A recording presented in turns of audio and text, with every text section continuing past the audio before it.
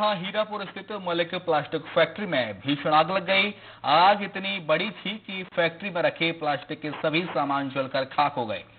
आग लगने की सूचना पर पहुँची दमकल की गाड़ियों ने चार घंटे की कड़ी मशक्कत के बाद आग पर काबू पाया।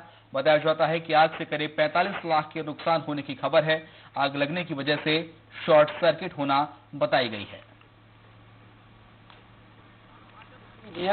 नहीं नहीं इस, इस प्रकार की कोई संभावना नहीं है कि किसी ने लगाई हो शायद अब वो बाद में चाहे शॉर्ट सर्किट ही पता लग रहा है हमको कि हिसाब से हो सकता है लेकिन कोई संभावना नहीं है कि किसी व्यक्ति ने लगाई है या किसी उसने। तो हम लोग तुरंत टीम रवाना किए फ़र्स्ट टर्नो उसके बाद फिर सेकंड गाड़ी आई फिर थर्ड गाड़ी आई। कंटिन्यू और अभी तक की नौ गाड़ियाँ लग गई हैं। और आग तो कंट्रोल हो चुका है। जो स्मोक है वो भी कूलिंग अभी चल रहा है। और अब खबर जबलपुर से।